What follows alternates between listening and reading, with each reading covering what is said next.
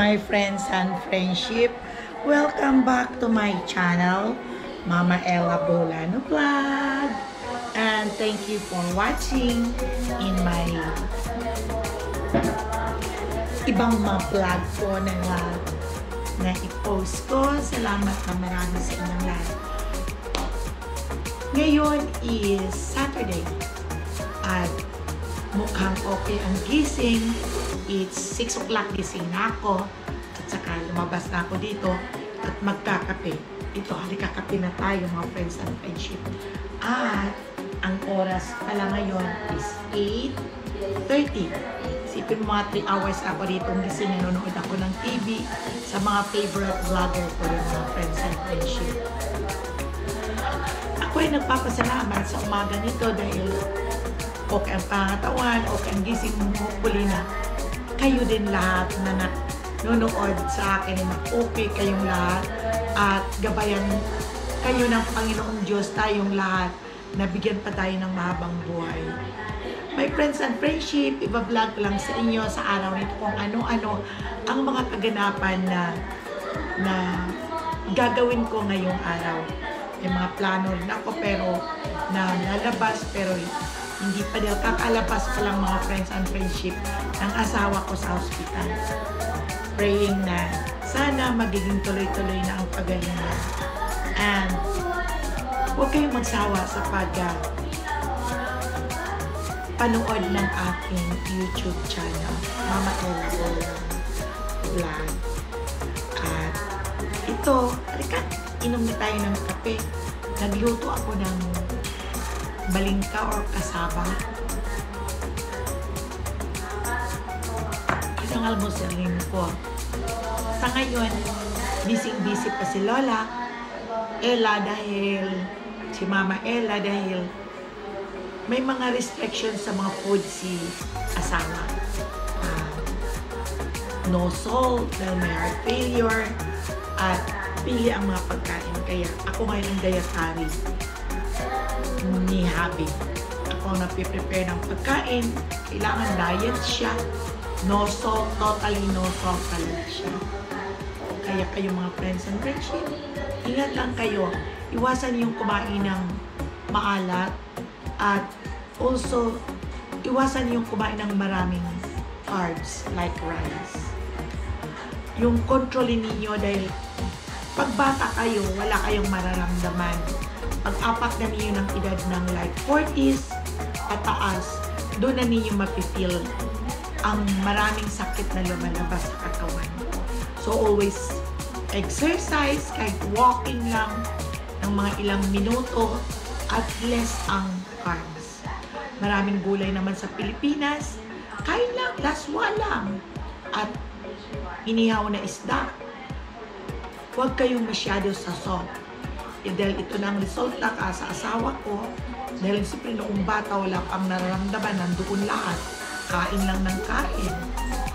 At kahit mga maalat, tira lang ng tira. Ngayon lang na mararamdaman mo pag nagkakaedad ka na. Mabuti na lang, sinasabi kong mabuti, nandito kami sa Amerika. Lahat ay free. Hindi naman lahat. Ang medical namin ay free pag pumunta ka sa doktor, may kamot ka, wala kang mabayaran mo sa mga hospital. Yun lang ang kinaigihan namin dito. Kaya ina-advise ko sa inyong lahat dyan, sa atin sa Philippines. Dahil alam ko kung gaano kahirap ang buhay dyan sa atin. Na pag nagkakasakit ka, ay wala na. Yun bang pag pinasok ka sa ospital, hindi ka pa nakakalabas, pinoproblema mo na ang babayaran mo paglabas mo sa mga gamot. Sobrang mahal. Kaya advice ko lang ito sa inyo na ingatan ninyo ang mga sarili din ninyo. Not kayo, kundi pati rin ako. Okay rin, iniingatan. At kami naman dito ay okay lang. Maraming salamat sa inyo at sana ay baguhin ninyo ang lifestyle ng pagkain. Ang lifestyle ng pagkain. Okay? Nagkakape muna tayo.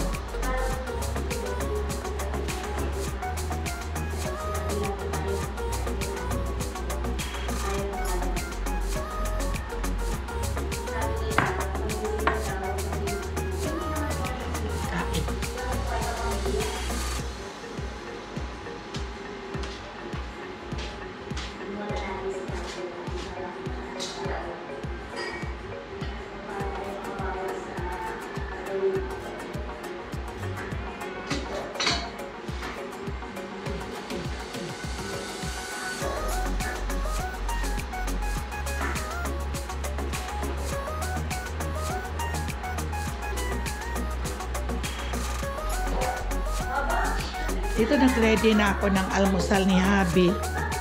At papakainin ko lang siya. Ito mga friends and friendship. ihalo lang namin ito sa cereal. Dodorogin at ihalo sa cereal. Kapon napunta ako sa store. Sa aming store dito na Walmart. Nabili ako ng mga mga pagkain na para para sa kanya pinipili ang hirap pinipili mo ang mga pagkain kung ilang percent ang salt. Um, kailangan walang salt kaya lang hindi maring ang mga pagkain walang salt. Meron talagang 7% pero sabi ko naman eh not all that food na kinakain mo ay 7% lang naman yan. Kaya pag kumuha ka lang ng konti eh, okay lang yan. Ayun el siyempre no salt dahil may sakit sa puso at ang kidney niya is not really good. Yun lang. Ng almusal namin. At ito si Zoe. Tingnan niyo mga friends friends.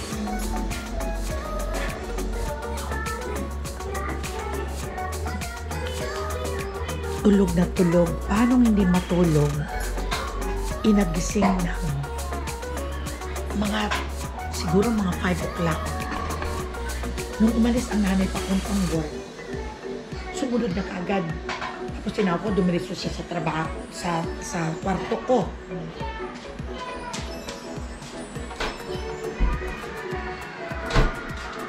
Dumiretso siya sa kwarto ko at nanood ng, binuksan ng iPad.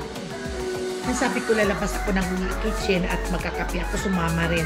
Ayan, natulog sa kapanood ng TV. Ayan, magre-ready na ako ng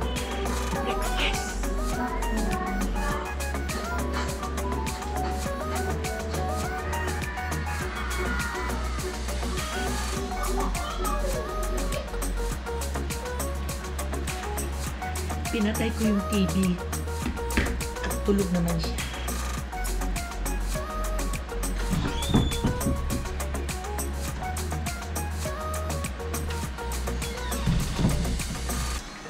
Hindi ako maku-oatmeal ngayon.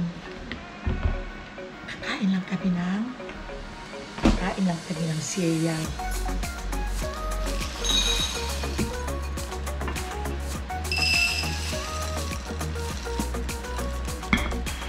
Tapos lagyan ng mga fruits.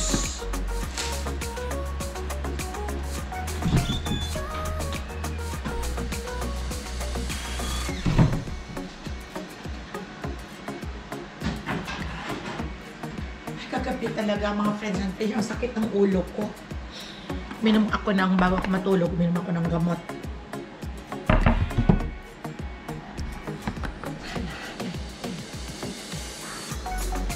Ganda ng, ano, ng, ng apple.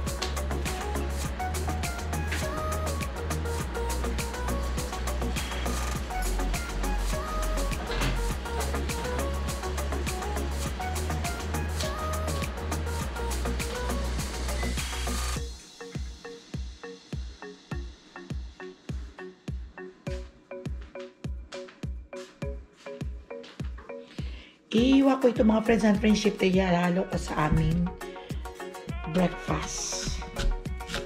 Wow, crunchy talaga siya oh. Oh, fresh na fresh talaga siya. Binili ko to kahapon. Kasi ganit pa ganitong summer mga friends and friendship. Talagang maraming apple ngayon dito dahil tag-apple talaga. Kaya, masarap ito ihalo sa um, para kompleto ang balanced diet. Kailangan kasi, hindi ka kasi dito mga friends and friendship marunong buhay dito sa Amerika. Talagang tataba ka ng tataba hanggang sa magkakasakit ka. Dahil hindi ka pinapawisan dito kahit summer. Hindi ka nagpapawis. Mas mabuti sa atin ay pinapawisan ka. Konting galaw mo lang sa sobrang init. Ito ang pinapa-breakfast ko. Rin pati sa asawa ko. Para healthy din. Nako. Hindi ka lang marunong sa buhay ngayon, Diyos ko. Magalit ang nakakasakit.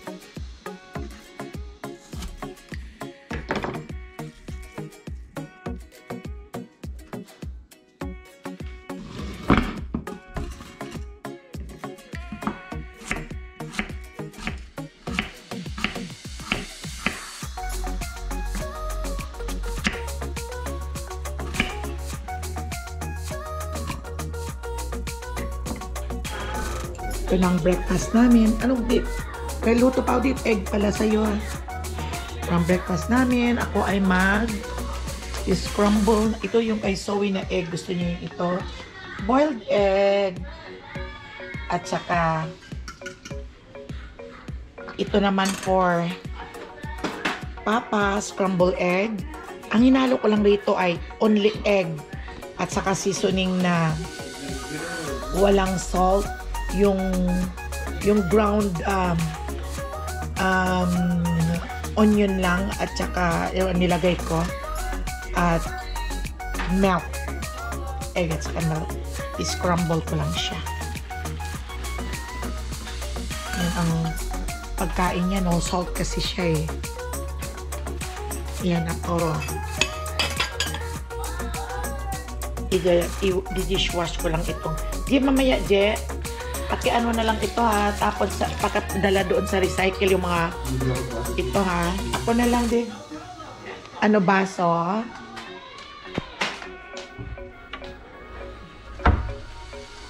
Mm, here did you oh, give to papa. Ito kasi junior. Say hi to my friends and friendship. Hi pa. I updated you. Ayan, magaling na siya. Okay na siya. Pero restricted ang mga kinakain. Kaya pati rin ako, kailangan ko rin ganon.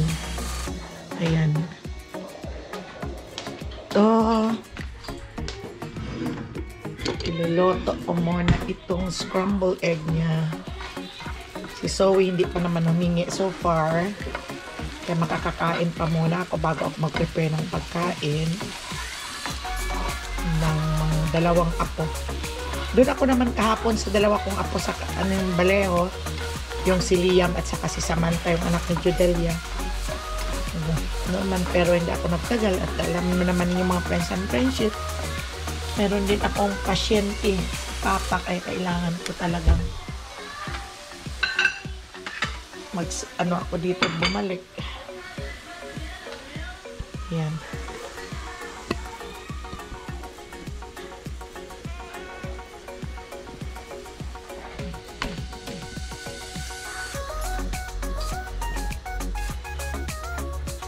Olive oil din ang ginagamit ko dito. What is that, baby? Oh, yeah? Oh, did you play there?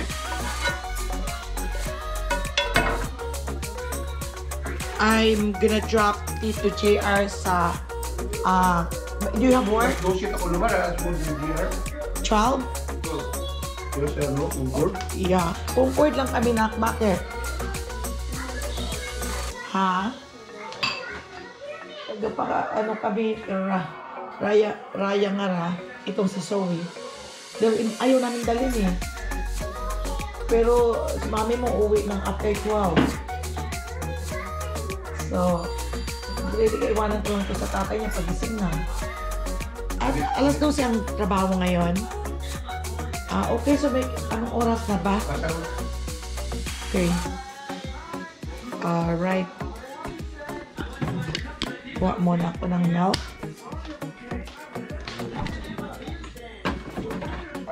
Ito ang mga routine namin mga friends and friendship. Asin? Tuwing umaga, everything walang asin ang pagkain ni Papa. Hindi pwede siyang kumain ng may asin. Bawal na bawal. No, you cannot eat that. That's for the restriction ni Papa sa food. Hindi pwedeng may asin siya. Salty. Ay, wala salty egg to. oh, later na you have your boiled egg. No, salty egg. Ikaw, boiled egg. Ah, nakakapagod. Yeah, later after eating. Ako ba yung salty egg, okay? Ako ba yung salty egg? Wala ako na, ano, salty egg. Tito Gigi, don't eat the salty egg of salty Kasi napabili siya kahapon sa akin ng nung isang araw ng, ng ewan ko ano bang nain- naintindihan nito sa salty egg. Nakita niya doon sa Oriental store. Sabi niya, Mama, can you buy me a purple egg? Sabi, ano yan, kako? Kunwari, hindi ko alam. Sabi niya, that's uh, salty eggs.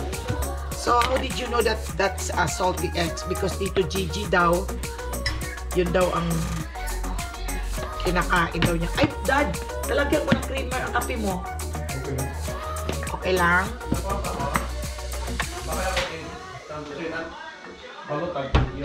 And then, meron pa naman pala siya ritong tools.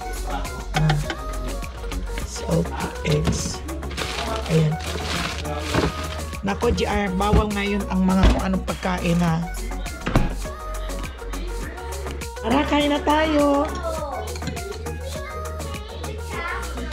Ito lang pagkain namin, American food, wala naman. Kung sa Pilipinas, sarap ka sa umaga. Dami makain.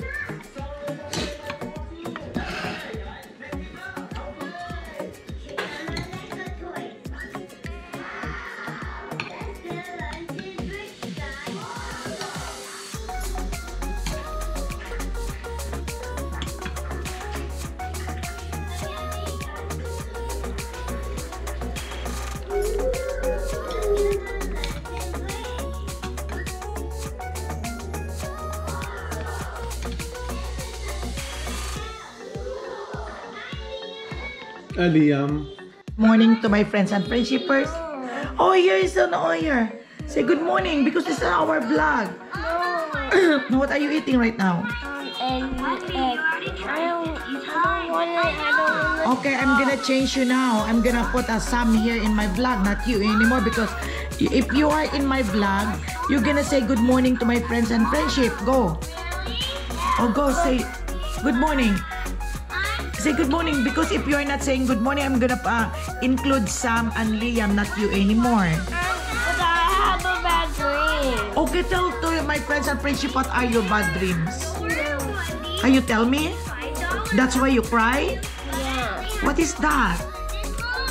You, Mama gets sick.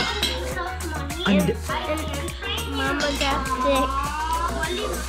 and then after? Mama got sick co- from me.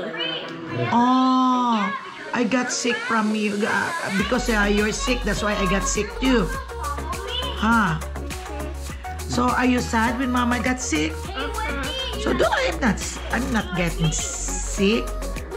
Okay. Okay. So what are you doing? So that's your favorite? And ito na ang kanyang ah, ang kanyang breakfast oatmeal kasi nagmamadali rin at pupunta kami ng Baleo. Idadrop muna namin si GR sa trabaho niya sa Concord dahil nandito na si GR sa Concord Jollibee.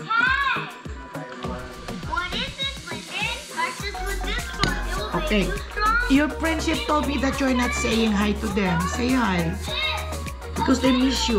Okay, say hi. That was end last night. You were sad? Tell to your friends and friendship why you're sad. Mama got sick. So did you cry?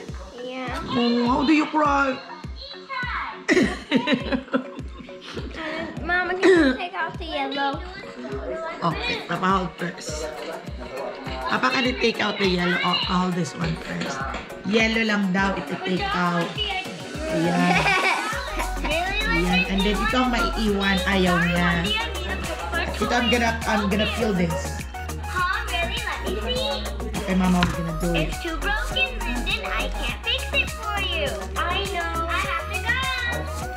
Hi. Hi. Welcome back, Wendy. Do you want to try my challenge again? Sure. I will leave out Ang hirap naman magbalat nito. Ah. Wendy. Okay.